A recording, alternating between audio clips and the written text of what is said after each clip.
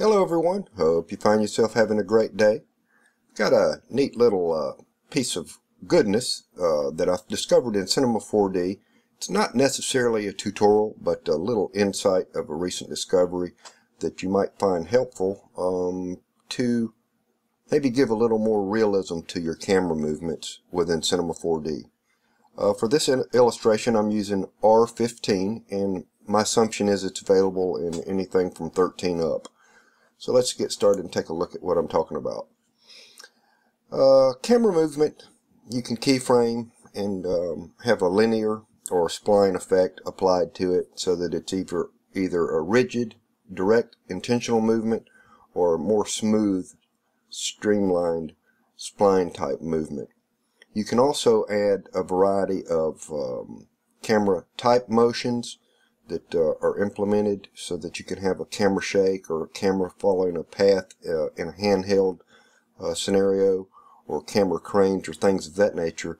But sometimes to simulate reality, uh, you'd like it to be a little bit more believable than those features provide you with. And I've recently discovered uh, something built right in to Cinema 4D that will help you achieve this. I'm going to drop in a couple of just objects in my scene here so that we can illustrate what I'm talking about. I'm going to move this uh, cube out and I'm going to duplicate it control click and drag and I'm just going to have a few of these spread throughout my scene here so that we can have our camera take different looks at them just to give the scene a little bit of perspective. Now if you go up top under character and then manager you'll see an area called cappuccino. Uh, click that, open it up, and you're going to be presented with this little window. And what this is going to allow you to do is convert uh, a camera movement. Let's drop a camera in here and we'll jump into that camera. This Cappuccino uh, controller is going to control whatever it is that you have selected. So in this case we want to control the camera movement so we'll select that. And then what we can do in real time um, is click start real time and at that point begin manipulating our camera and you'll see that it's going to introduce keyframes and uh, if, to take it an, another step further we can even have it do point level animation so that uh, we'll have a little bit more um, control over our keyframes if we wanted to do additional uh, tweaks in the future. So for example, just in the basic scenario here, I'm going to hit start real time. You'll notice that nothing happens until I begin to move my camera. And just as soon as I begin to move that camera, you'll see the timeline begin to move and keyframes being introduced into our scene for the camera.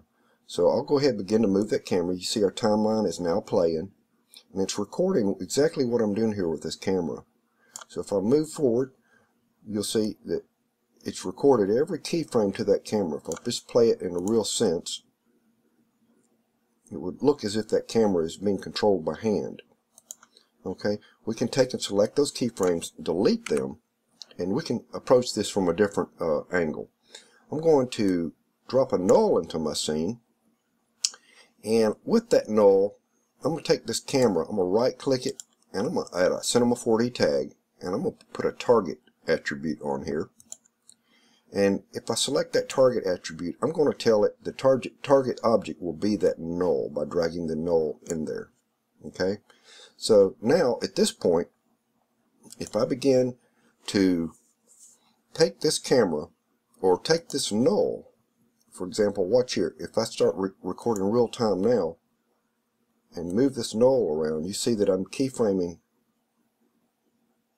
And it would be as if that camera is being moved by the null and I'm actually recording the position through the camera where that null is being moved.